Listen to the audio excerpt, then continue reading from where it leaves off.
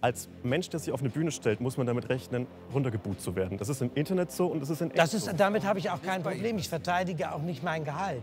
Ich habe genug Arbeit und wenn ich die nicht mehr habe, dann schneide ich wieder Haare. Darum geht es nicht. Es geht um die Kunst. Wenn die ein oder andere kulturelle Wandlung in diesem Land stattgefunden hat und vielleicht nicht mehr alle zum Glück über Witze über Türken lachen können, dann ist das vielleicht eine Entwicklung, die du dann in dem Fall verpasst hast.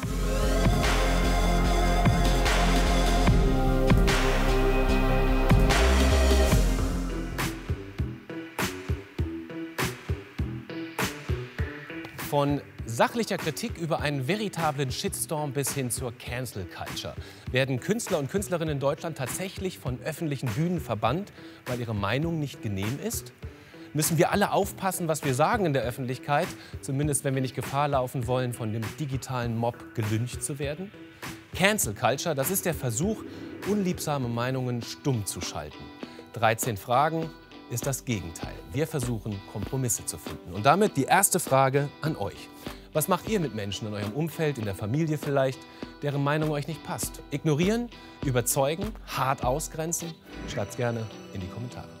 So, wir sind äh, angekommen in der ersten ganz schnellen Runde. Noch ohne Worte bitte. Ihr habt alle eine Position und die wollen wir jetzt deutlich machen auf diesem Spielfeld, damit auch alle sehen, wo ihr ungefähr steht. Also es ist ein sehr grobes Meinungsbild, was wir jetzt hier aufs Spielfeld bringen wollen.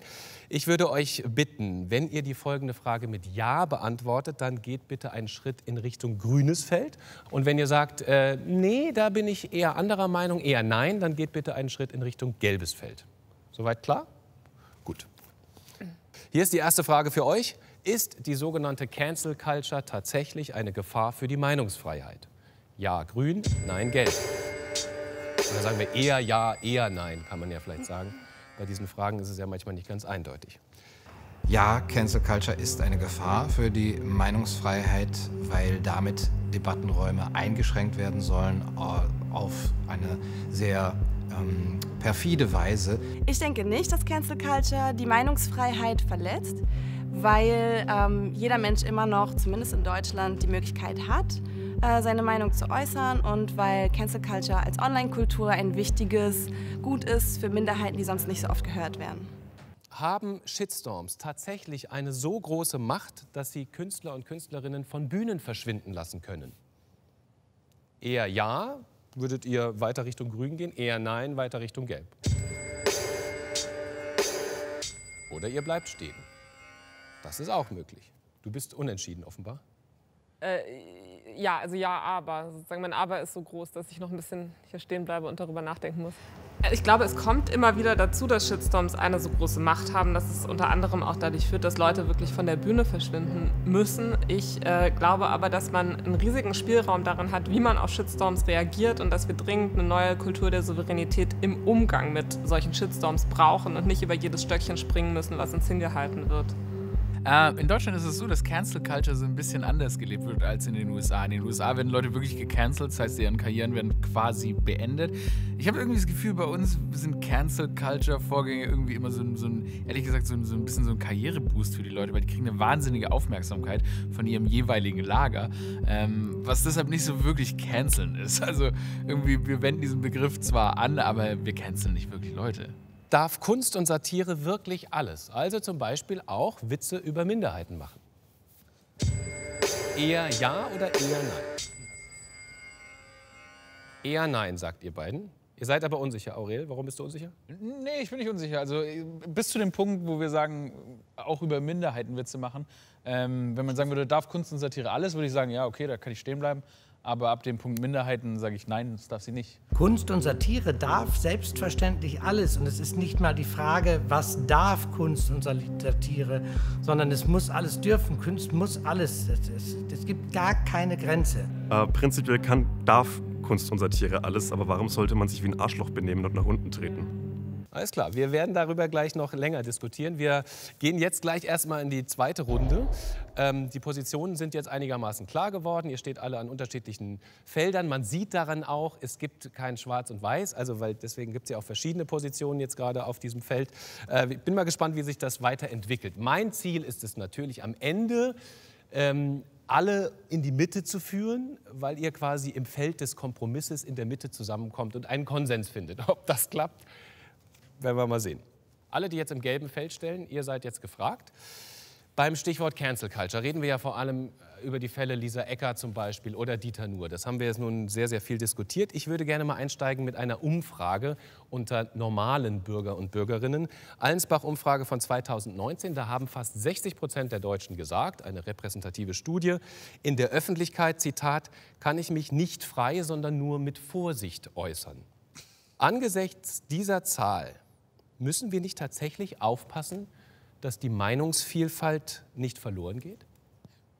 Also ich sehe es sehr positiv, dass sich Menschen überlegen, bevor, was sie sagen, bevor sie den Mund aufmachen. Das ist etwas, was ich auch erst lernen musste, aber das ist tatsächlich ganz gut. Ich sehe das als Fortschritt.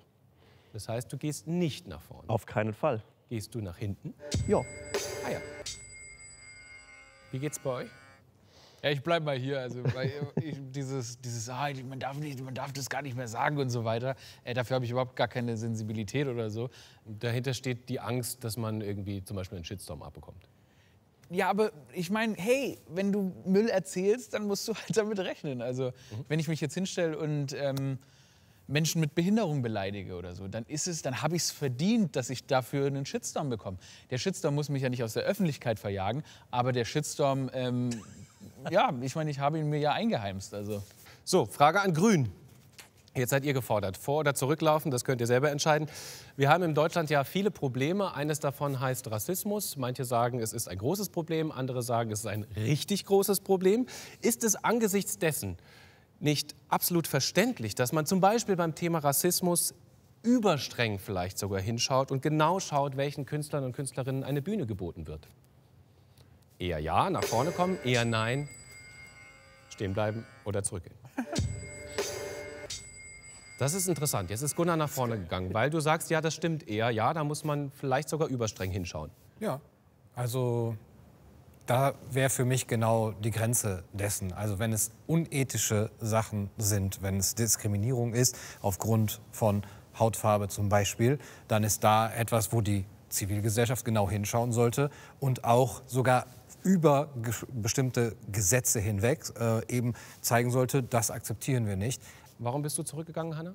Ich glaube, das Rassismusproblem, ja, natürlich gibt es ein Rassismusproblem in äh, Deutschland, ein ganz massives, ist vor allem ein institutionelles, es ist ein konkretes, es ist eines, äh, wo man daran arbeiten muss, beispielsweise wenn es um die ganze ähm, Polizeidebatte geht, die wir jetzt an der wir jetzt gerade rumkauen. So, ich glaube aber daraus pauschal irgendetwas über Debatten im öffentlichen Raum abzuleiten, ist erstmal falsch und vage. Weil dahinter die Frage steht, was ist eigentlich rassistisch und wer entscheidet das? Ja, genau. Wenn mir jetzt auch gar nicht so viele ähm, Beispiele einfallen, wo jetzt irgendwie die Rassisten und Rassistinnen sozusagen auf die Bühnen des öffentlichen Raumes drängen und von dort irgendwie ferngehalten werden müssen. So, also es ist für mich irgendwie, es erzeugt ein falsches Bild einer, einer Notlage, die es so nicht gibt. Und für mich hat Hanna da schon sehr viel von meinen Argumenten gesagt. Erstens ist ja im Grundgesetz festgelegt, dass jeder seine Meinung sagen darf. Und diese Meinung wird ja immer irgendwie jetzt, äh, die wird ja verschwabelt. Also wir leben in einem Land mit Dauerdiskriminitis, also es, es, ist gar nicht festgelegt. Was ist denn eigentlich Rassismus? Was ich einfach ganz, ganz wichtig finde, dass es nach wie vor ein Publikum gibt, das sich entscheiden kann, einzuschalten oder abzuschalten. Und ich glaube, wenn jemand äh, sich äh, rassistischer Vorurteile bedient, hat das was mit Bildung zu tun. Und da sollten wir den Hebel ansetzen, aber nicht anfangen mit einer Verbotspolitik. Na gut, wir haben jetzt, äh, ich gehe auf eine Sache ein, wir haben jetzt noch nicht über Verbotsdebatten gesprochen. Wir reden in der ganzen Debatte eigentlich gar nicht über Verbote, bisher Und zumindest. ich finde, wenn irgendjemand entscheiden kann, was zum Beispiel Rassismus ist, was Antisemitismus ist, dann sind es doch die Betroffenen davon und nicht irgendwelche Typen, die aussehen wie ich. Das sehe ich völlig anders, denn ich als, als bisexueller Mann kann ja auch äh, habe eine ganz andere Meinung zur homosexuellen Feindlichkeit und Feindlichkeit gegenüber bisexuellen Männern. Ich habe kein Problem mit dem Wort Schwuchtel, kein Problem mit Witzen, die über mich gemacht werden. Ganz im Gegenteil. Ich trage meine, meine, meine Eigenart nicht vor mich her, sondern. Ich bin auch ein bisexueller Mann und ich finde es scheiße. Na gut, da gibt es offenbar einen Dissens, wie man auch an euren Positionen übrigens sehr gut deutlich sehen kann. Wir gehen gleich noch ein bisschen tiefer in die Diskussion rein, auch mit persönlichen Erlebnissen. Ihr habt alle die ein oder andere Erfahrung mit Shitstorms und Gegenwind und so weiter bekommen und verschiedene Schlüsse daraus gezogen. Darüber sprechen wir gleich. Äh, Frage natürlich auch an euch. Wie geht's euch? Habt ihr schon mal äh, jemanden quasi gecancelt oder verstoßen, weil er eine euch unliebsame Meinung hatte? Wie geht ihr damit um? Oder ist es vielleicht euch sogar schon mal gegenteilig passiert? Habt ihr schon mal Probleme in eurem Freundeskreis oder auf der Arbeit oder so bekommen, weil ihr eine Meinung geäußert hat, die anderen Leuten nicht gepasst haben. Und wir reden jetzt erstmal über grundgesetzkonforme Meinungen, um das ganz deutlich zu sagen. Ähm, wir gehen jetzt in die dritte Runde. Da gibt es ein paar persönliche Erlebnisse und da wird vielleicht auch noch ein bisschen ähm, äh, heftiger diskutiert. Gunnar, wir fangen mal mit dir an. Wir wollen ja über das Thema Meinungsfreiheit und die Grenzen der Meinungsfreiheit sprechen. Du hast im September, war es glaube ich, vergangenen September, einen Appell für freie Debattenräume, so habt ihr das genannt, gestartet, äh, um, Zitat, das Denken aus dem Würgegriff zu befreien. Generell habt ihr gesagt, sei die Meinungsfreiheit bedroht. Wer bedroht sie? Die öffentliche Meinung. Ähm, man würde vielleicht sagen, eine Mehrheitsdiktatur äh, ist dann gegeben, wenn äh, gar nicht mehr äh, das Gefühl da ist, ich kann jetzt wirklich frei denken auch und es auch relativ frei äußern, äh, sondern ich muss eben äh, diese Angst haben. Und äh, das ist leider eben das Schwierige, weil das es nicht so klar ist, wer sie bedroht. Das können ja unterschiedliche Gruppen sein. Aber du hast das Wort Mehrheitsdiktatur in den Mund genommen. Ist das nicht ein bisschen dicke? Diktatur? Ja, das ist ein Begriff von Alexis de Tocqueville, der das schon im 19. Jahrhundert befürchtet hat als Paradoxon der Demokratie, der gesagt hat, ähm, wir haben das jetzt äh, zwar und wir versuchen eine offene Gesellschaft äh, zu haben, aber was passiert, wenn die Mehrheit einen so großen Druck auf Einzelne ausübt, dass es nicht mehr möglich ist, eine kulturelle Selbstverständlichkeit zu hinterfragen? Und das, was kulturell selbstverständlich ist, ist nicht immer das, was das Beste ist und ein Fortschritt ist dann gar nicht mehr möglich. Und äh, Diktatur ist ein hartes Wort, gebe ich zu, aber ähm, es macht das Ganze deutlich, wo das hingeht. Du, du wähnst dich in einer solchen? Ich will nur, nur deine Position klarkriegen. Nee, das würde ich nicht sagen. Es ist eine gefährliche Tendenz, gerade was äh, auch Digitalisierung und soziale Medien angeht, wenn wir immer weiter einschneiden und beschneiden diese Meinungsfreiheit und dann ist es eine irgendwann. Welche konkreten negativen Konsequenzen hat diese Meinungsdiktatur, das ist ein Schlagwort, ich benutze es, ähm, auf dich? Also was konkret schränkt dich darin ein, einfach zu sagen, was du denkst, auch wenn es beispielsweise diskriminierend ist? Ja, auf mich persönlich eigentlich weiß ich nicht. Ähm, ich kann mich relativ frei bewegen, aber es geht ja auch um diejenigen, die das nicht können, beziehungsweise diejenigen, die eben das befürchten müssen, dass sie ihren, ihren Job verlieren oder dass sie nicht mehr irgendwo eingeladen werden, dass sie, äh, und zwar wegen einer, wie du sagst, grundgesetzkonformen Meinung, ja, die man nicht mögen muss und die man auch verachten kann. Aber dass diese zivilisierte Debatte nicht mehr stattfinden kann über solche Meinungen, halte ich nicht für notwendig. Ich frage mich, ob, also ob diese Gefahr wirklich gegeben ist, weil ich habe das Gefühl, wir haben in Deutschland schon eine relative Vielfalt an verschiedenen Medien. Äh, Hanna, ne? du bist ja bei einem sehr konservativen Medium. Äh, in letzter Zeit, vor allem der Chefredakteur. ähm, auf der anderen Seite gibt es dann äh, ja, selbst, selbst meine Plattform die ein bisschen linker ausgerichtet ist und so weiter. Und ich habe das Gefühl, dass wir uns, also dass diese Medien sich da schon alle ihre Berechtigung haben und sich da sehr, sehr gut in Deutschland die Hand geben. Also ich habe schon das Gefühl, dass es da einen sehr, sehr guten Austausch gibt. Und klar, das fühlt sich dann öfter mal so an, als jetzt sind die Konservativen besonders stark, jetzt sind die Linken besonders stark, jetzt ist die Mitte irgendwie besonders stark. Aber eigentlich habe ich das Gefühl, dass wir ein ganz, ganz gesundes Gleichgewicht haben, äh, das mal und mal in eine andere Richtung ausschlägt. Aber ich würde schon sehen, wenn man in, der, in die Vergangenheit guckt, dass da Debattenräume größer waren, dass auch die Seiten vielleicht etwas gleichmäßiger verteilt waren. Ich sehe schon heute, und wenn du zum Beispiel die öffentlich, den öffentlich-rechtlichen Rundfunk äh, nimmst und was dort ähm, eben gesendet wird, eine, eine so wie zu starke Einseitigkeit. Ja, oder einfach mit tollen Ausnahmen. So wie hier. Aber es ist interessant, Hanna ist gerade nach vorne. Entschuldigt, entschuldigt, Hanna ist gerade nach vorne gelaufen. Das ist doch interessant, weil du, du wurdest offenbar überzeugt von dem, ja. was Aurel gesagt hat, dass es eigentlich eine Meinungsvielfalt gibt, richtig? Ich, genau, also es hat mich deswegen äh, ja, überzeugt oder auf jeden Fall äh, an etwas äh, sozusagen angeschlossen, was ich auch denke, nämlich, dass diese ganze Polarisierungsdiskussion ein Stück weit eine absolute Blasendiskussion ist. Deswegen finde ich es auch immer gefährlich, diese ganze Rede vom Meinungskorridor, vom Gesinnungskorridor oder auch vom Würgegriff. Also ich habe ja Gunnar zum Beispiel so halb äh, gecancelt sozusagen. nein, aber ich habe So diesen. schnell geht das? Nein, habe ich nicht. Aber ich habe diesen Appell eben nicht unterschrieben, weil ich da zum Beispiel eben die Rede vom Würgegriff auch übertrieben fand. Du hast aber auch gesagt in einem Interview, Mhm. ich glaube schon, dass ich manchmal Sachen nicht so deutlich sage, wie ich sie sagen könnte, weil da auch eine Angst ist. Ja. Inwiefern? Ja, Es, es hat bestimmt auch einfach was mit meiner Persönlichkeit zu tun. Ich will immer, dass alle mich mögen und äh, polarisiere deswegen vielleicht nicht so gerne. Ähm, aber es ist so klar, dass wenn man bestimmte Sachen raushaut auf äh, Social Media, vor allem natürlich auf Twitter, was für diese Dinge die absolute Höllenplattform ist, dann kommt der Shitstorm. So. Und äh, da habe ich nicht immer Lust drauf. Und es ist halt eben auch so, dass häufig Sachen einfach völlig unterkomplex gelesen werden. Und dann lesen die Leute halt die Überschrift und ähm, rasten aus. So. Kannst du das nachvollziehen, Aurel? Du hast ja auch schon ein paar Shitstorms hinter dir. Ja. Das ist ja, ich meine, das ist ja das, was sie beschreibt. Das kann einem ja durchaus Das- Angst machen. Selbst wenn man halb in der Öffentlichkeit steht, wie Hannah zum Beispiel. Ja, das Spannende ist immer, dass man merkt, wenn man, wenn man neuen Content veröffentlicht, dass es erstmal, erst kommt der Zuspruch, weil es erstmal in der Bubble bleibt. Und oftmals, wenn etwas aus der Bubble rauskommt, dann kann die Situation komplett eskalieren und es kann auf einen erschlagend wirken. Was du wahrscheinlich meinst, ist, wenn dann so ein Artikel äh, aus deiner Bubble rauskommt und plötzlich hast du so einen Gegenwind. Und ich habe aber das Gefühl, dass wenn dieser Gegenwind groß genug wird, dann ähm, solidarisieren sich wieder genug Leute mit dir, dass es wieder so ein bisschen ausgeglichen wird. Auf der anderen Seite heißt das aber auch, dass man ein verdammt dickes Fell braucht, um sich öffentlich äußern zu können. Ah, deshalb geht man ja in die Öffentlichkeit. Ne? Das ist die Frage. Ist es, wäre es nicht wünschenswert, dass man auch noch darüber hinaus Menschen und Meinungen akzeptiert, die eben nicht ganz so ein dickes Fell haben? Ja, de ja, definitiv. Natürlich, man kann auch nicht von jeder Person erwarten, dass sie aus genau diesen Gründen in der Öffentlichkeit ist, sondern man muss natürlich schon. Ähm, ja, ich meine, gut, diese Debattenräume sind dann in dem, in dem Moment, ich meine, wir haben hier so einen Debattenraum gerade, äh, wo wir versuchen, solche Sachen auszudiskutieren und wo man Leu Leute auch versuchen muss, unter einem geschützten, in einem geschützten Umfeld äh, deren Meinung äh, mal rauszulassen. Warte, bis der YouTube-Shitstorm kommt. statt. Also die finden ja nicht statt. Das ist ja auch mit ein Grund, warum ich jetzt gerade so einen halben Schritt nach vorne gegangen bin. Ja. Was ich aber total negativ finde, deshalb bin ich nur halb nach vorne gegangen, sind die Medien.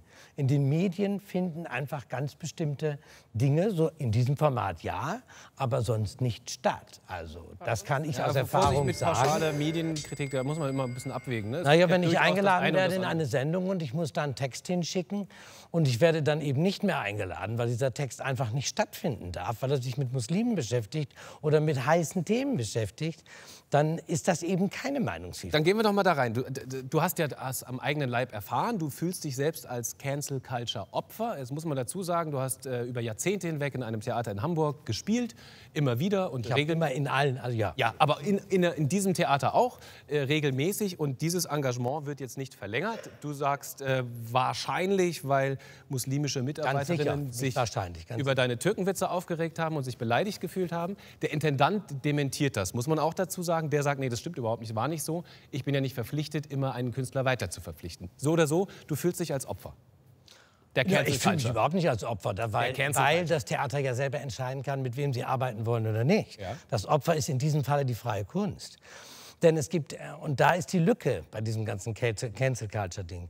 In dem Moment, ich bekam ja gar nicht die Chance, mich mit, äh, mit einem Kellner zu unterhalten. Und ich habe in diesem Theater, wie gesagt, seit 30 Jahren gearbeitet und mit allen äh, äh, muslimischen Kellnern äh, Spaß gehabt, weil die wussten, was ich tue und mich kennen fernab äh, der Bühne und wussten, das ist eine Bühnenfigur. In diesem Falle war es aber halt so, dass diese Kellner mich halt nicht kannten und die haben, was weiß ich, einen Kulturschock gehabt oder und das Gespräch wurde verweigert und ihnen wurde halt vorher auch nicht gesagt, heute kommt Kay Ray, da geht's mal ein bisschen anders zu, sondern es wurde in vorauseilendem Gehorsam wurde gecancelt. Kann es auch sein, dass der Intendant dich einfach nicht mehr so lustig findet?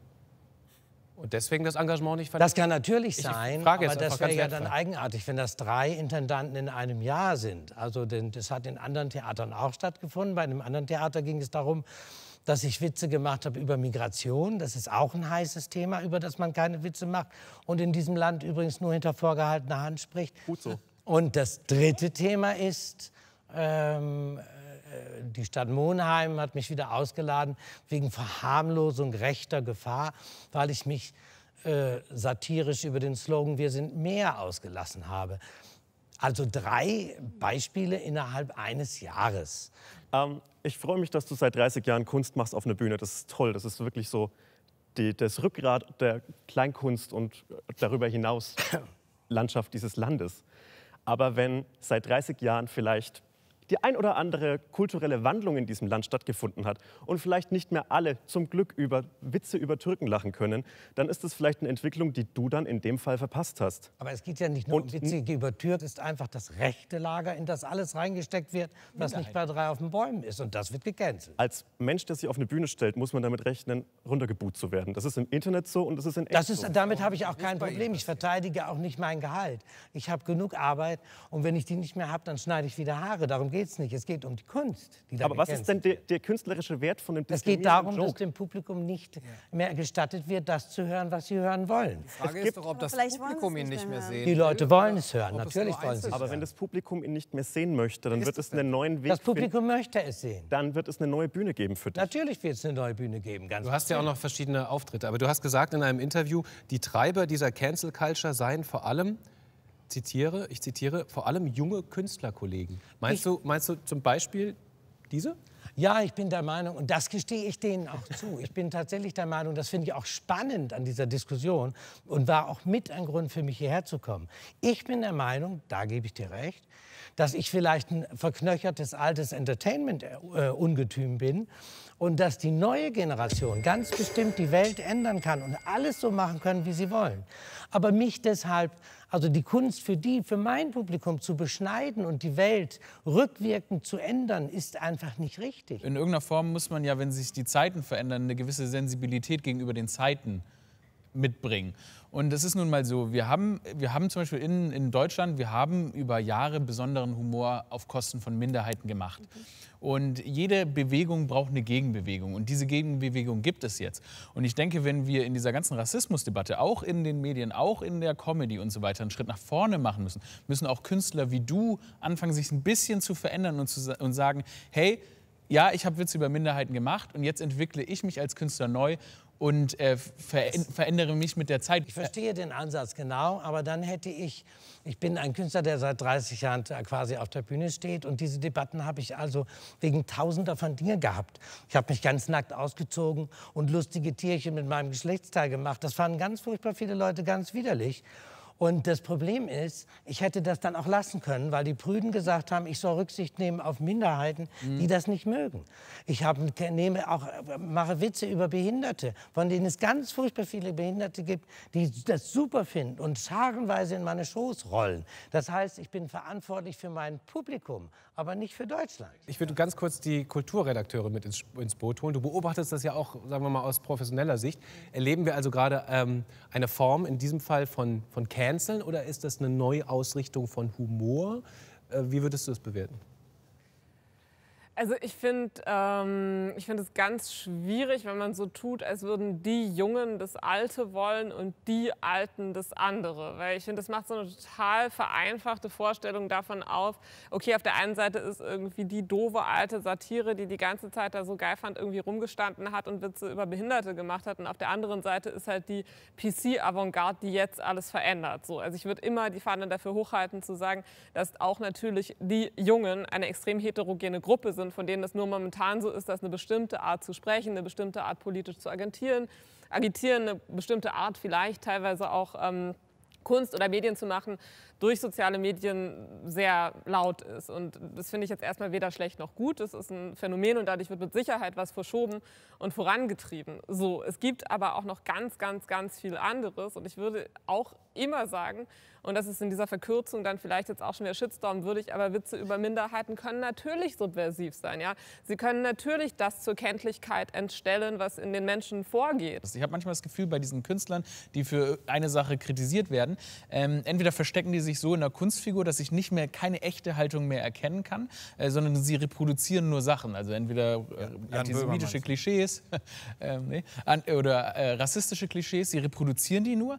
Und ich kann nicht sagen, wer ist diese Person, sondern ich sehe nur blank dieses Ding. Und klar, da, da, man, man kann immer, ich kann alles interpretieren. Ich kann sagen, ja, da zeigt sie uns jetzt den Spiegel der Gesellschaft vor. Oder ich kann sagen, ja gut, das ist eigentlich eine üble, eine üble Hetzrede. Aber wa- warum kann man denn da nicht die Unschuldsvermutung gelten? Nee, genau, pass auf, pass auf ich lasse ja, ich lasse ja, ich bin ja, das, ich sage ja auch nicht, dass diese Leute sollen verschwinden oder sonst was, sondern ist es dann eher so eine, ist es dann eine eher eine Art und Weise, wie ich die Gagtechnik oder die Satire dahinter äh, bewerte? Weil ich denke mir so, okay, bau doch den doppelten Boden ein, mach's doch. Und mach ihn nicht nur, dass ich ihn irgendwie in so einer fünften Metaebene an deinem Augenzwinkern irgendwo raus interpretieren muss. Also es fällt mir manchmal bei manchen Künstlern tatsächlich schwer zu sagen, was ist das? Ist es jetzt nur Rassismus oder ist es Satire?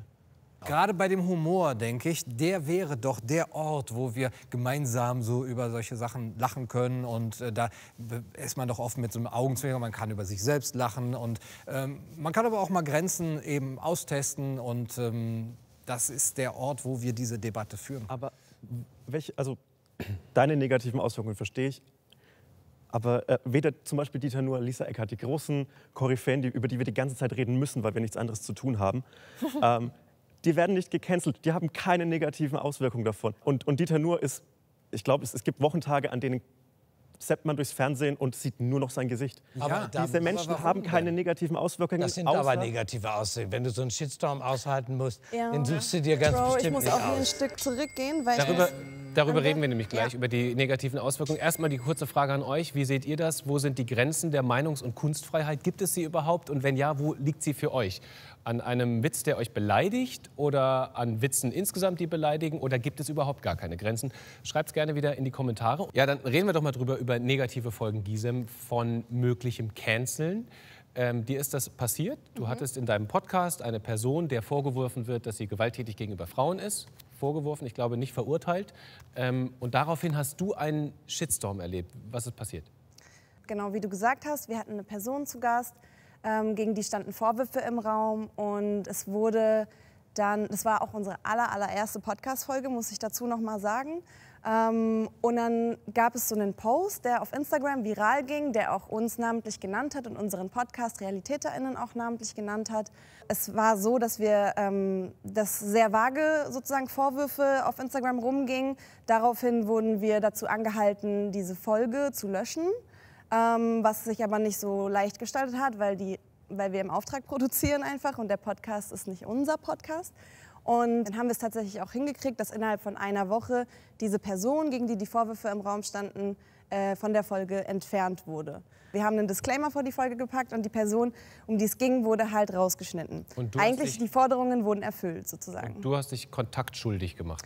Ja, genau. Ich habe mich kontaktschuldig gemacht, weil ich war ja nicht die Person, die Gewalt ausgeübt hat, sozusagen, sondern ich, habe, ich wurde mit einer Person assoziiert und habe ihr in dem Podcast eine Plattform gegeben, ähm, ohne es zu dem Zeitpunkt zu wissen.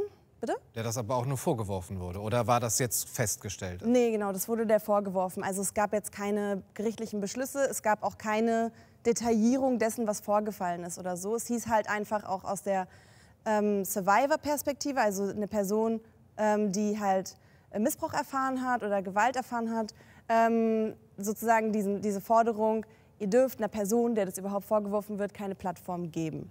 Aber dann Und- müsstest du doch eigentlich Kate zustimmen, der sagt, ja, das darf, sowas darf nicht sein, dass du jetzt auch noch dafür angegriffen wirst, weil du dich mit jemandem unterhältst, der mutmaßlich gewalttätig war. Aber wir als feministisches, ähm, also DJ-Duo und auch feministische Podcasterinnen müssen natürlich auch zuhören und müssen natürlich auch irgendwie ernst nehmen, dass diese Vorwürfe im Raum stehen. Und wir müssen uns ja auch überlegen, wofür stehen wir und wofür nicht. Und ähm, bei also Gewalt oder Missbrauch ziehe ich da auf jeden Fall schon noch mal eine Grenze für mich. Ähm, ich habe auch selber schon mal gecancelt. Ich habe auch schon mal selber eine ganze Cancel-Kampagne geleitet, nämlich gegen R. Kelly damals. Äh, das war 2019 mit deiner Co-Moderatorin Salva übrigens. R. Kelly Stummschalten hieß die Kampagne, wurde Genau. sogar p- prämiert äh, aufgrund ihres großen Engagements. Was, war, was ist der Unterschied zwischen dem einen Cancel und dem anderen Cancel aus deiner Sicht? Ähm, der Unterschied ist, R. Kelly ist eine Person, die sel der selbst vorgeworfen wird, sozusagen gewaltvoll gewesen zu sein. Ich hingegen war jetzt nicht gewaltvoll, ähm, aber wurde trotzdem auch gecancelt zu einem gewissen Grad. Ähm, R. Kelly ist mittlerweile im Gefängnis für die Sachen, die ihm vorgeworfen wurden. In unserem Fall hat es sich einfach leider nie geklärt. Ähm, oder ist noch äh, eine Klärung im Gange, keine Ahnung. Ähm, und ich denke halt so, R. Kellys ganze Kunst beruht darauf, Liebeslieder zu machen und zu performen. Also wenn man da weiß einfach, dass dahinter ähm, Pädophilie steckt und auch irgendwie so ein Sexkult steckt, wo irgendwie Frauen ähm, ja, missbraucht werden, dann ähm, kann ich halt diese Kunst nicht mehr supporten und dann möchte ich auch aktiv dafür eintreten, dass dieser Mensch keine Bühne bekommt, einfach auch aus Solidarität mit Menschen, denen das widerfahren ist und wo es keine Konsequenzen gab. So. Der Vollständigkeit halber sage ich trotzdem nochmal, die Vorwürfe gegen R. Kelly sind höchstwahrscheinlich wahr. Es gibt Ja. wahnsinnig viele Indizien, wahnsinnig viele Zeuginnen. Videos. Ähm, es gibt Videos. Videos, es Videos. gibt Videos, aber äh, zum Zeitpunkt der Kampagne zumindest gab es noch keine Verurteilung. Der Mann war noch nicht im Gefängnis. Das muss man der Aber es gab eine Vollständigkeit- Doku. Es gab die Doku dazu. Es gab aber noch keine Verurteilung. Das muss man der Vollständigkeit halber vielleicht auch noch mal sagen. Interessant ist ja der Punkt Kontaktschuld, dass du, weil du dich mit jemandem abgegeben hast, der mutmaßlich straffällig geworden ist, Ja. deswegen gecancelt wurdest. Ja. Und das ist ja, äh, also das ist ja, nehme ich an, fandst du am problematischsten für dich selbst auch, weil du hast ja dadurch Ja. berufliche Hindernisse gehabt. Also nicht nur beruflich unbedingt, würde ich sagen. Ich glaube, das Schlimmste für mich war, also natürlich, wir haben auch zum Beispiel ähm, finanzielle Einbußen gehabt dadurch. Also wir haben, ähm, wir hatten Angebote, mit Leuten zusammenzuarbeiten, die dann erstmal sich zurückgezogen haben, weil es hieß, oh, ihr seid gerade zu problematisch. Und ähm, das finde ich natürlich bedenklich, aber das finde ich nicht so schlimm wie als Person, die selbst einer Minderheit angehört, den Rückhalt seiner eigenen Community zu verlieren. Das war für mich eigentlich so die schlimmste Erfahrung in dem Ganzen. Und ich finde halt auch, ähm, ich bin nicht ein Mensch, der das nicht einsehen kann oder so, wenn er Fehler macht. Und ich finde, man kann mit mir eigentlich immer ganz gut reden. Und ähm, da fand ich auf jeden Fall sehr schade, dass gerade die Menschen, also so wie ich zum Beispiel, die sich Mühe geben, auch Dinge anders zu machen, auch Dinge besser zu machen, dann mit denen besonders hart ins Gericht gegangen wird und dann eben, ja, also ich fühle mich auf jeden Fall sehr so, als ähm, würde es keinen Unterschied mehr machen eigentlich, ob ich was dazulerne und ob ich diesen Fehler sozusagen bereue ähm, und ob ich irgendwie in Zukunft anders handeln würde oder nicht, weil irgendwie ist man so irreversibel raus bei ganz vielen Menschen. Ich würde gerne noch mal bei dem Punkt äh, Kontaktschuld bleiben, weil das ein spannendes Ding ist, dass wenn man selber also nachweislich unschuldig agiert im öffentlichen Raum und trotzdem, weil man sich mit den falschen Personen abgegeben hat, vielleicht mm, ja, Repressalien befürchten muss. Wie geht's dir, Gunnar? Ich meine, du sitzt zum Beispiel mit so Personen wie Ken Jebsen in Talkshows auf YouTube. Ken Jebsen ist in der öffentlichen Debatte gerade eine Persona non grata, hat sich zu einer solchen gemacht. Wirst du dafür angefeindet oder, ge oder gefeiert? Äh, weder noch, weil ich äh, eigentlich ja sozusagen mit ihm debattiere, sozusagen. Also da kann man jetzt so zu stehen, wie, wie man will, aber das gehe ich auch bewusst ein. Was, äh, du hast jetzt gesagt, zu Recht. Er ist ein Holocaustleugner. ja, aber du sagst das ja relativ schnell, offensichtlich bei der bei Weil der ich finde, Holocaustleugnung ist auch nicht mehr innerhalb des Das Rahmens hat des aber trotzdem, kann man doch versuchen, den zu verstehen. Man kann doch, man, Nee, wenn, man, wenn man den Dialog, ja, ja, das verstehen. ist Nee, nee, eure Ansicht.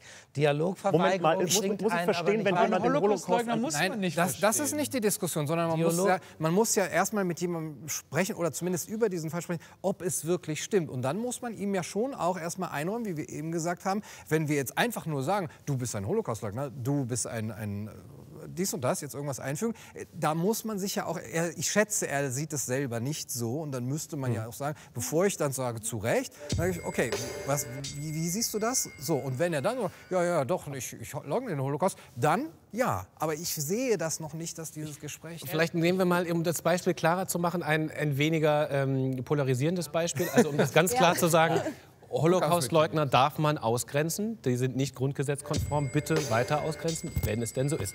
Ähm, ich stelle mal dir eine Frage. Florian Schröder, kennen wir alle, Kabarettist, äh, steht oft auch im Fernsehen, ist in der Linksbubble, wenn wir sie so nennen wollen, äh, relativ oft relativ gut gefeiert. Unter anderem auch, weil er jetzt bei der Querdenker-Demo in Stuttgart aufgetreten ist. Das fanden viele gut. Der tritt aber auch zusammen mit Dieter Nuhr und Lisa Eckhardt äh, zum Beispiel im Fernsehen auf. Und dafür wurde er zum Beispiel auf Twitter heftig angefeindet. Zu Recht? Also Thema Kontaktschuld.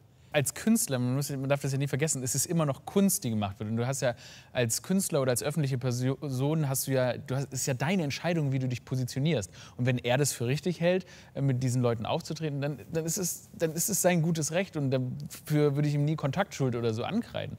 Ähm, auch weil ich Dieter Nuhr und dieser Eckert keine, keine, keine Schuld ankreide, sondern ich bin, finde ihre Positionierung fragwürdig, aber es ist nicht so, dass ich sage, hey, das, ihr, müsst verschwinden. Solange sich das in diesem Rahmen bewegt, offensichtlich, wenn es eine Nachfrage nach, danach gibt, Leute, hört es euch an, ähm, dann gibt es halt auch eine Gegenbewegung, die bin möglicherweise manchmal dann auch gerne ich selber und dann trifft man sich in der Mitte. Aber das ist genau das Spannungsverhältnis, das wir haben und das dafür sorgt, dass überhaupt Kunst entstehen kann. Und deshalb ähm, bin ich auch nicht dafür, dass man die rechte Seite einfach übelst wegcancelt.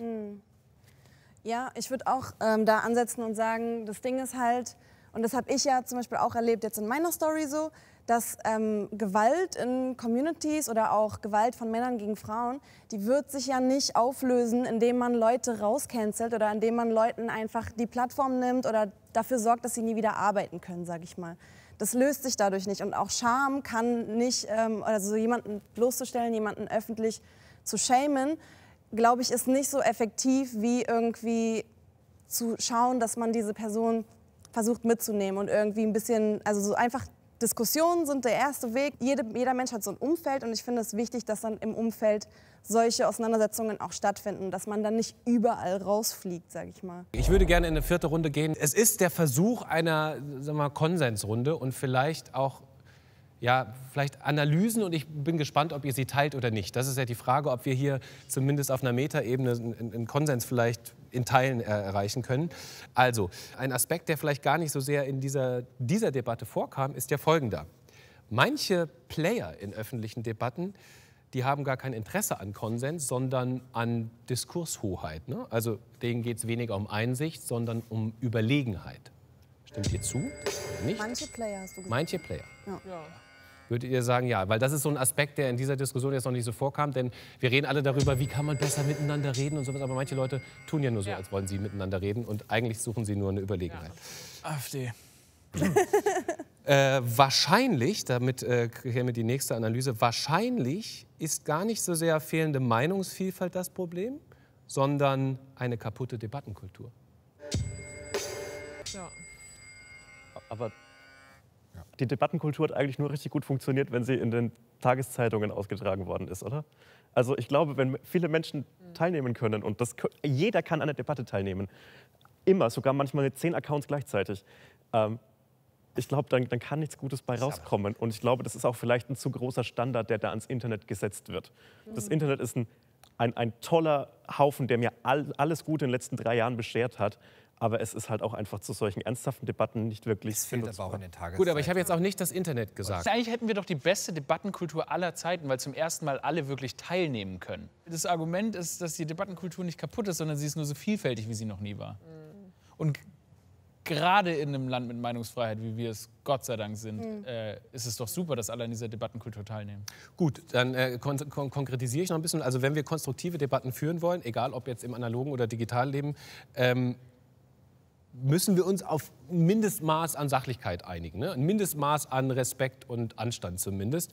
Also der Wunsch wäre, mal gucken, ob ihr zustimmt, alle Menschen müssen alles sagen dürfen, ohne Angst zu haben, dass sie digital gelyncht werden. Oder analog gelyncht werden, noch schlimmer.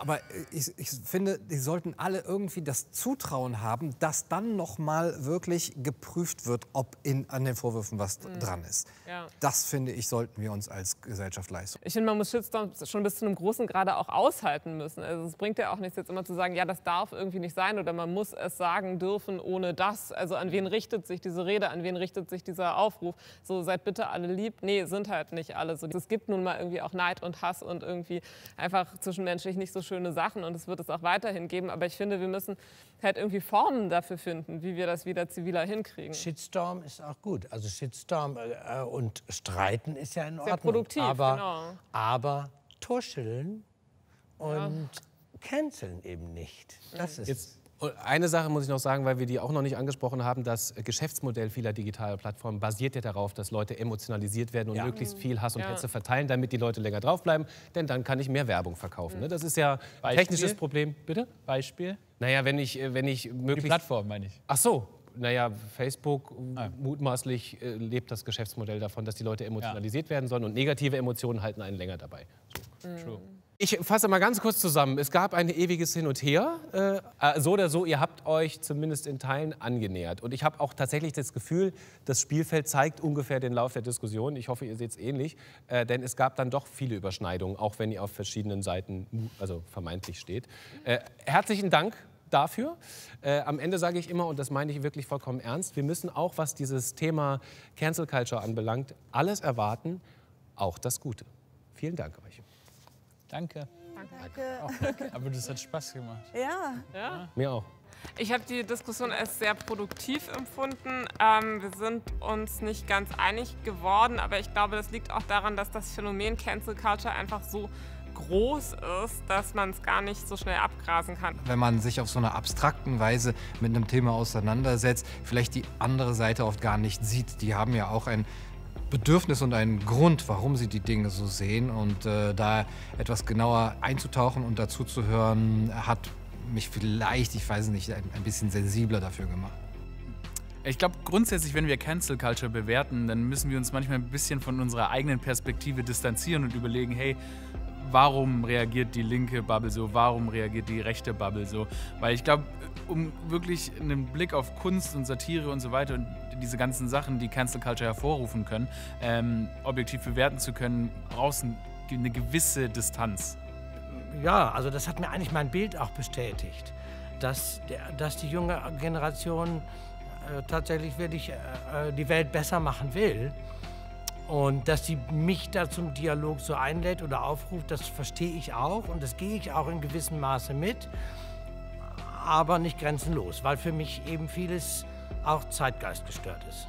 Ich glaube, was wir auf jeden Fall zulassen sollten und was ein Ziel, ein Ziel sein sollte für den öffentlichen und privaten Diskurs, ist, dass wir es zulassen sollten, dass man sich entschuldigt und Fehler eingesteht und vielleicht sich sogar verbessert. Ich glaube, davon profitieren wir alle und niemand, egal auf welcher Seite der Diskussionsrunde er oder sie heute stand, ist perfekt oder ein, ein Bildnis moralischen, moralischer Überlegenheit. Ich finde es wichtig, dass wir einander kritisieren, nicht um, einander zu zerstören oder um uns über eine Person zu stellen, sondern aus Solidarität und wohlwollend und auch ähm, mit dem Gedanken im Hinterkopf, dass diese Person ähm, diese Kritik auch aufnehmen und reflektieren und ihr Verhalten verbessern kann. Was mir heute besonders gut gefallen hat, ist, dass das Format so herrlich aufgegangen ist. Also jeder und jeder hatte seine eigene feste Position. Aber dann hat man eben doch oft gesehen, dass die eine oder andere Person so ein kleines Schrittchen, manchmal auch einen großen Schritt, aber manchmal nur ein ganz kleines Schrittchen auf die andere Seite zugegangen ist. Und so sind halt Diskussionen, gerade solche Diskussionen, die sind nicht schwarz-weiß, sondern es gibt wahnsinnig viele Zwischenschritte. Und das hat man heute, glaube ich, wunderbar gesehen. Wenn euch dieses Format so gut gefällt wie mir, dann könnt ihr hier unseren Kanal abonnieren. Da oben gibt es ein weiteres äh, Video 13 Fragen. Und hier unten haben wir noch ein anderes Video zum Thema. In diesem Sinne, vielen Dank.